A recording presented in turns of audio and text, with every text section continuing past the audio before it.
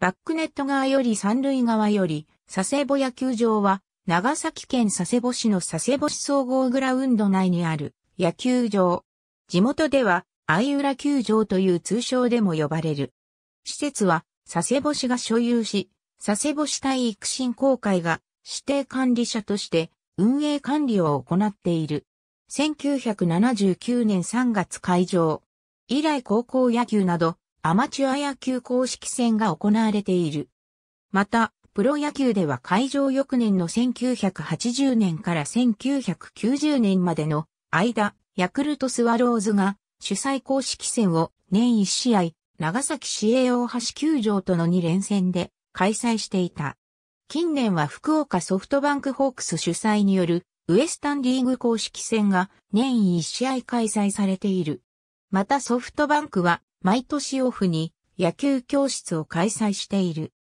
2008年から2010年まで四国、九州アイランドリーグに所属していた長崎セインツは主催試合の7割以上を東球場で開催し、事実上の本拠地球場であった。佐世保市は城島健治の出身地で、佐世保野球場とは何かと淵深い。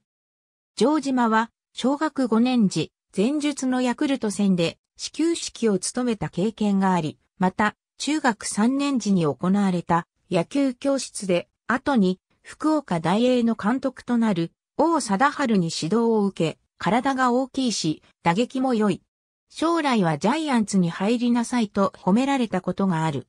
城島は現役時代、シーズンオフの帰省時には、佐世保野球場周辺で自主トレーニングを行うことがあった。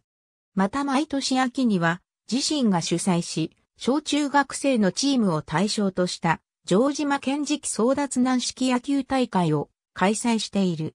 なお、城島の家族らが運営していた城島県直ベースボール記念館は佐世保野球場からほど近いところに位置している。2011年4月1日に公益財団法人佐世保体育協会から施設を寄付され、総合グラウンド野球場に名称変更した。ありがとうございます。